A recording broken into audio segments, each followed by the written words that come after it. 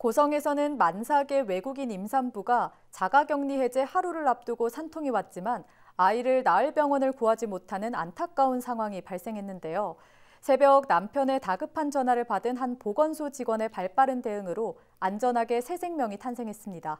우리 동네 히어로에서 고성보건소 박정혜 주무관을 만나봤습니다. 고성보건소 역학조사관인 박정희 주무관은 지난 3월 6일 새벽 4시쯤 한 남성의 전화를 받았습니다. 최근 캄보디아에서 입국해 자가격리 중이던 만삭의 아내가 산통을 시작했는데 병원을 구하지 못하고 있다는 도움 요청이었습니다. 박 주무관은 병원마다 전화를 걸어 설득에 나섰지만 선뜻 나서주는 곳이 없었습니다.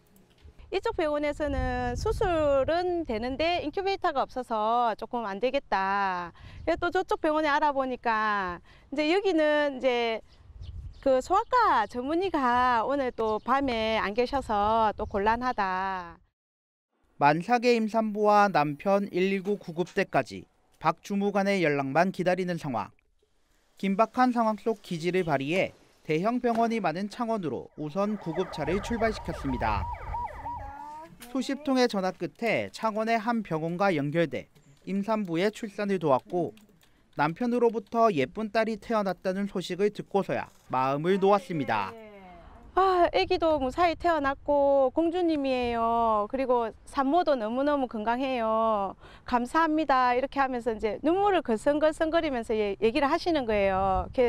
저도 이제 아 이제 내 할 일이 이제 오늘 할 일은 끝났구나. 그래서 가슴 뭉클했어요. 예. 행정안전부는 포기하지 않고 새 생명의 탄생을 도운 박 주무관을 우리 동네 영웅으로 선정했습니다. 박 주무관은 자신뿐만 아니라 코로나19로 고생하는 보건소 직원 모두가 우리 동네 영웅이라고 소감을 전했습니다.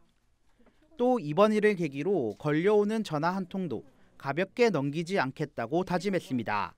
한 번쯤 안 받아도 되겠지 하는 마음도 있었어요. 너무 힘들어서. 그런데 이제 이번 계기로 더 전화기를 붙들고 다니고 이제 뭐 전화 받는 거에 대한 스트레스도 이제 없어졌어요. 왜냐하면 전화 울려서 그분들의 제 손길이 필요한 사람한테 도움이 될 수 있으니까. 헬로티비 뉴스 표영민입니다.